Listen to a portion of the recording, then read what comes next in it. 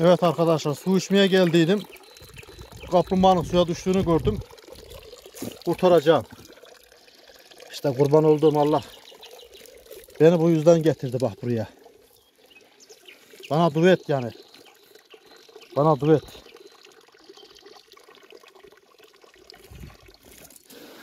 Bana duet yani bak. Hayvan gözleri falan iyice şey yapmış yani. Gördünüz mü? Çapaklanmış yani suyun içinde kaç gün kaldıysa.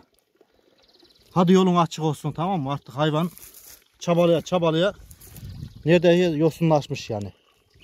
Şöyle diyeyim de su yuttuysa çiğ etsin. Şuna bak hayvan. Hadi. Hadi yolun açık olsun tamam.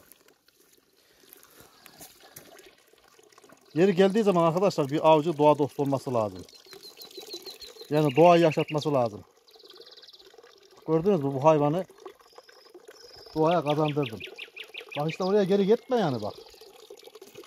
Geri gitme yani. Geri gittin miydi? Şey diyeceğim. Suya yine düşeceğim. Büyük bir ihtimal yukarıdan çeşmenin üstünden düştü. Çeşmenin üstünden bir yerden düştü yani büyük bir ihtimal.